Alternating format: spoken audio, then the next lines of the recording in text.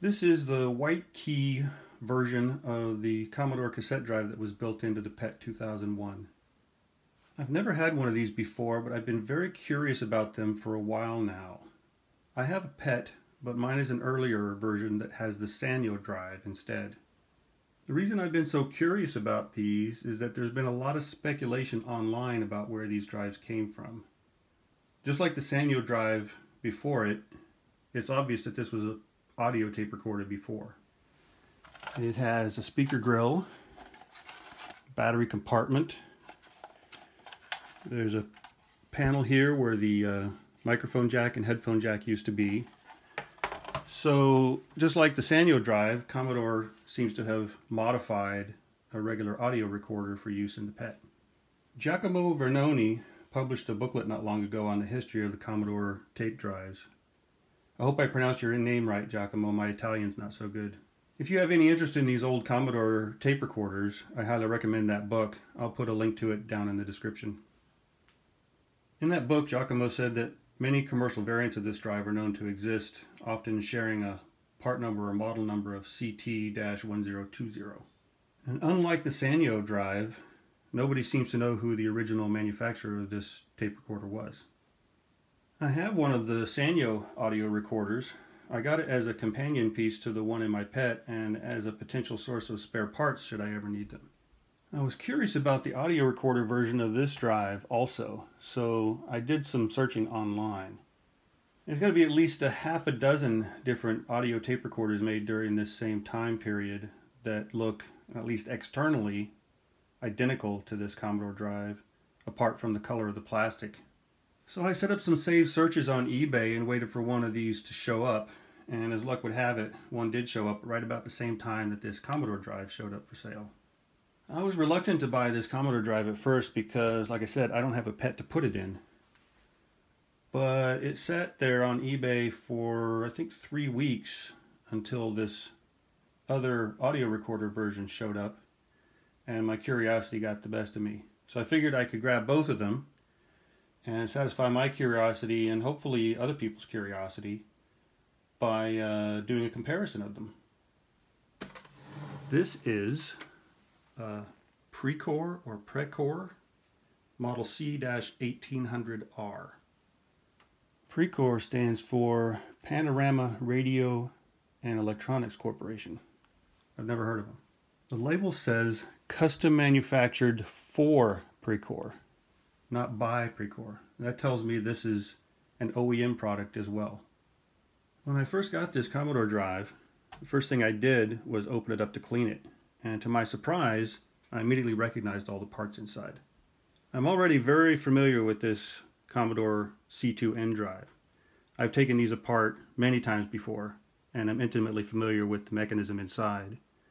So when I opened up this White Keys version, I could see immediately that the mechanism in here is identical, mostly.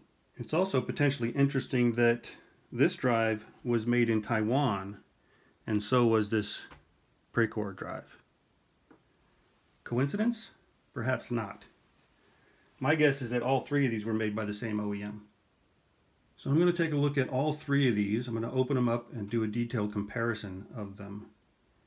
And that may or may not interest you, but what might interest you is that if you are trying to repair or restore one of these drives, one of these drives might be a good potential source of spare parts. So even without opening things up, you can see similarities here. Manual lift door, five keys, uh, even though one of these is red.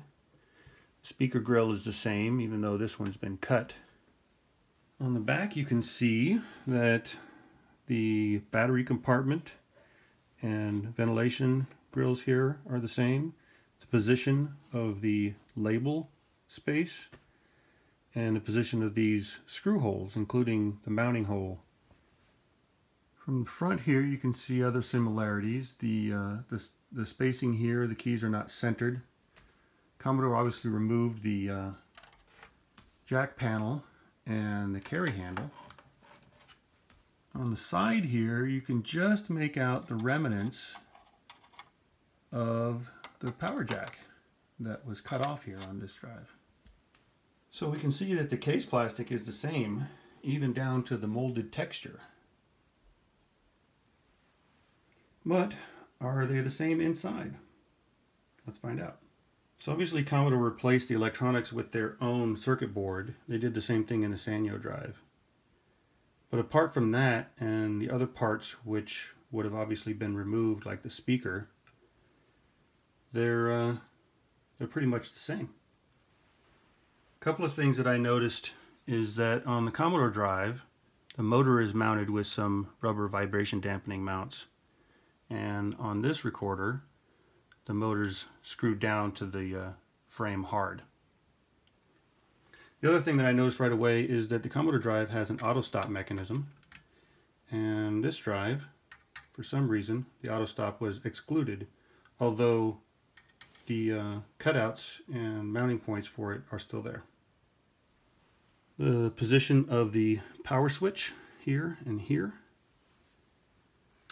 the um, fast forward and rewind lever, the key levers here, the case mounting screws here and here. There are also mounting screws here on the front, as well as the azimuth adjust hole right here and right here. Removed from the uh, plastic from this angle you can see the, uh, the key mechanism here uh, with the latching hooks and the levers. The capstan retainer. They both have the same Canon motor. Here's a detailed shot of the circuit board. This one says CT1030. Uh, a lot of the other ones that I've seen online say CT1020. Also over here this says NP-133.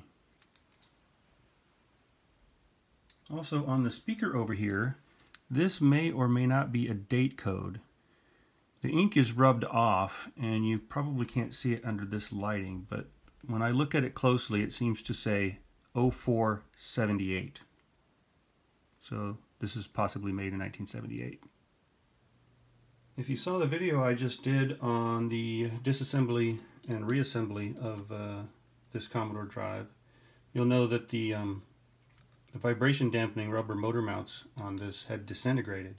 Now I know that if I have that problem again, I can just mount the motor directly to the plate Although to do that, you wouldn't be able to use these screws. You'd have to get some smaller screws because these are long enough to uh, get into the motor mechanism if you try to mount them without the spacers in there. And here's uh, the view from the top side. You can see the head assembly here. This one does not have the auto stop lever. This uh, lever trips the stop mechanism when the tape reaches the end. For some reason this was excluded on this audio recorder, but the uh, the pivot point for it is there, so one could be added. Maybe uh, Precor just didn't want to spring for it and removed the auto stop as a cost reducing measure. The take-up reel and the clutch spring, the gears, the tire, the record protect mechanism. This is the, um, the door lock to prevent you from opening the door when the unit's in play. And right here on both units, actually all three units, is a name Musashino. I did some checking on Musashino, and I believe this is Musashino Corporation. There are several companies by that name, but I'll post a link to the company history of the one that I think it is. They supplied components and devices to the audio industry in Taiwan in the 1970s. So, uh, yeah, these are not just similar, they're identical and completely interchangeable, except for the red key. So if like me, your Commodore drive has a worn out tire,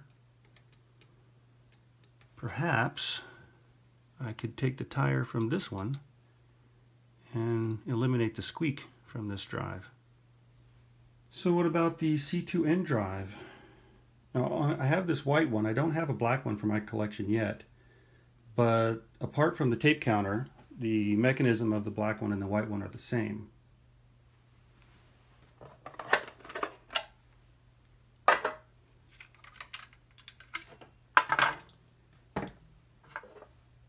Here are the two Commodore drives side by side, and obviously they're not the same. Uh, the keys are a different color, but it's the same number of keys. The take-up reel has a different clutch spring, but the same tire, the same gear mechanisms, the same record protect mechanism, the motor is different. This one's slightly smaller, but it's also still made by Canon. And just like the other two drives, it also has the name Musashino stamped right here. Now obviously the older drive doesn't have the tape counter, but what I found interesting is that the supply reel on here actually still has the notch where the belt goes here. On the back side we see the same mechanism. The power switch, the fast forward and the rewind gears. One stop. Auto stop bar here. The motor mount on the C2N has three screws, also vibration dampened.